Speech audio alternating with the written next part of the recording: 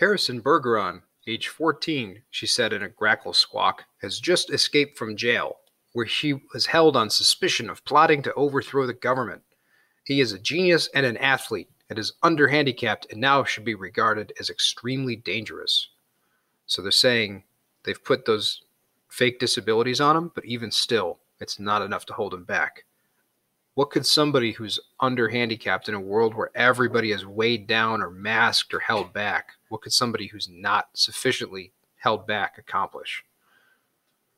A police photograph of Harrison Bergeron was flashed up on the screen upside down, then sideways, upside down again, then right side up. The picture showed in full length of Harrison against the background calibrated in feet and inches.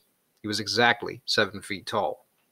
The rest of Harrison's appearance was Halloween and hardware. Nobody had ever borne heavier handicaps. He had outgrown hindrances faster than the HG men could think them up.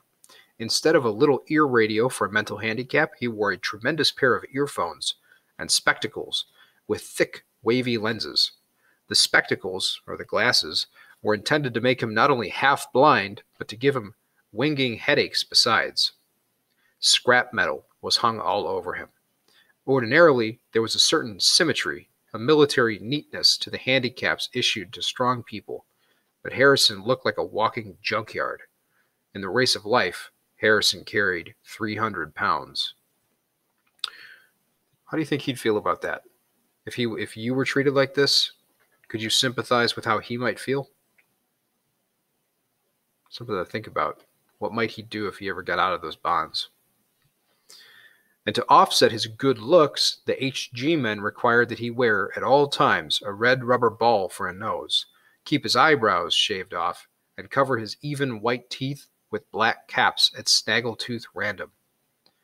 If you see this boy, said the ballerina, do not, I repeat, do not try to reason with him. There was the shriek of a door being torn from its hinges, screams and barking cries of consternation, or people who are upset and confused, came from the television set.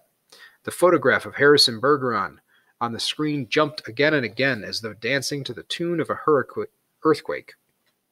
Harrison Bergeron correctly identified the earthquake, as well he might have, for many was the time his own home had danced to the same crashing tune.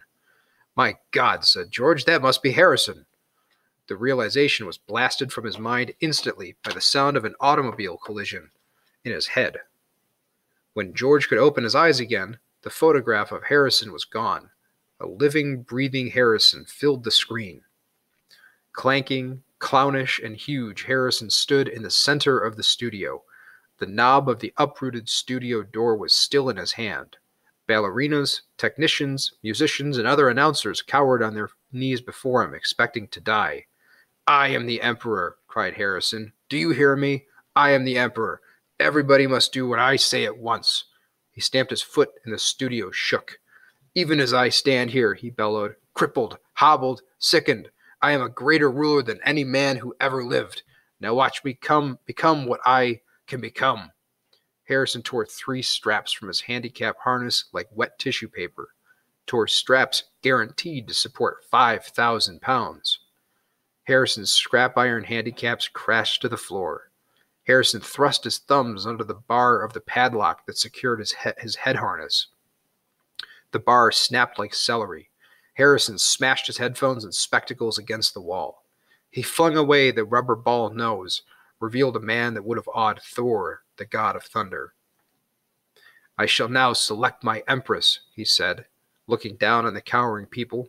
Let the first woman who dares rise her to her feet, claim her mate and her throne. A moment passed, and then a ballerina arose, swaying like a willow. Harrison plucked the mental handicap from her ear, snapped off her physical handicaps with marvelous delicacy. Last of all, he removed her mask. She was blindingly beautiful. Now, said Harrison, taking her hand, shall we show the people the meaning of the word dance? Music, he commanded. The musicians scrambled back into their chairs and Harrison stripped them of their, of their handicaps too.